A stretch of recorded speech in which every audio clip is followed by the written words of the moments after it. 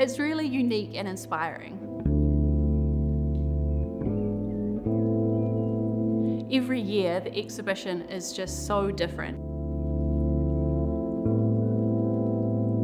We have people come from all over the world that view this show and say they've never seen anything like it. Changing Threads is an opportunity for artists working within the textile field to really show how they're pushing the boundaries of the medium within their conceptual practice. There are some media in this selection here which challenge what you might think of as uh, fibre art. we very early came to the conclusion that what we could do was, as part of our definition, would be anything that could be twisted or manipulated as if it was a piece of fibre. By stretching the wider sense of the word fibre, we started to have not only the natural fibres such as wool and silk and cotton, but we started to get things like fish skin and plastics and recycled wires. There's a lot of reused materials, there's a lot of unexpected materials, and it's just really exciting to see people really pushing and expanding the field of what is textiles. The criterion are fairly loose and that inspires artists from all types of backgrounds to enter. People pushing the possibilities and exploring issues such as sustainability, the environment, feminism, cultural appropriation, issues that are very much of our time. I think it's really important to have pieces in an exhibition like this, which are not necessarily what people expect to see. And absolutely what we didn't want was pretty pictures for the wall. They have to have some deeper meaning as well as being just an interesting idea. It also has really terrific financial prizes. And there's not a lot of textile exhibitions within New Zealand that do offer such a range of prizes. I'd like to thank Bernina, who have been on board since day one. They saw the concept and saw the need for that and really got behind us. At Bernina, we love to support anything that fosters creativity, and this show in particular is such innovative work. The CEO of Bernina International actually flew out from Switzerland to come and see the show because he had, heard such good things about it. And in, he was indeed quite impressed. He said it's probably one of the best shows he's seen, which for someone who goes around the world seeing fibre shows, that's, that's quite something. So a nice feather in our cap, I think. There's nothing else quite like changing threads. They really encourage artists to push the boundaries between fibre arts and fine arts, and I think it's just incredible. So we love supporting that kind of work.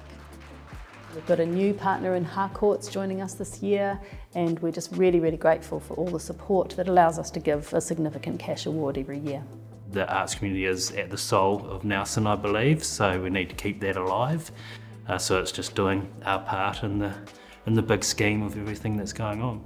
I'd also like to do a shout out to Benjamin Black, who's a goldsmith here in Nelson, who produces, he creates a wonderful um, piece of jewellery specifically for our People's Choice Award winner, which is a lovely little prize. It's not a cash prize, but actually the people that have won that in the past have treasured that.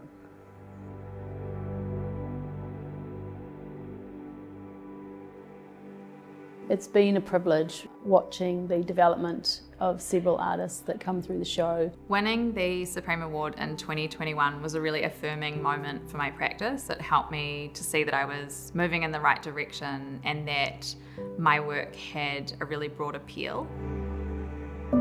Being selected gave me the nourishment and confidence to further explore the arts, supported my journey into exhibiting a solo exhibition in 2022. It really opened me up to the world of arts as a practitioner. I think changing threads has been really important for allowing people to have the confidence to try new things in a new way and know that there's a place where they can exhibit.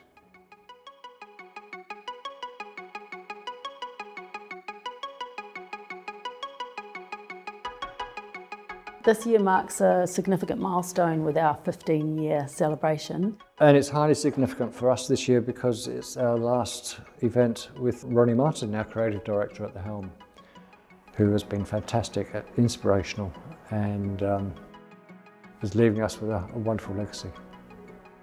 She has made a huge, significant impact on the fibre and textile art community. Changing Threads wouldn't exist without Ronnie because it was Ronnie's idea and her concept, and then her really hard work over these 15 years. She's a true creative director. She does a lot of things behind the scenes which people wouldn't even think about. Ronnie has a significant amount of energy and a huge passion for not just fibre and textile but art practice. And she is one of the most encouraging uh, people that I know. I can't stress enough the central role and the central vision of what Changing Threads is and how open she's been to allowing people to explore their skills and to experiment. It'll be really interesting to see how Changing Threads evolves without her. I think it's exciting that possibility that it will keep going because it's a team thing. It's not, not about me and it's never been about me. For me, I hope that the future of Changing Threads allows that gap between craft and fine art to to narrow. We're really excited for the future and whatever direction that may take and we just really hope that we can make Ronnie proud.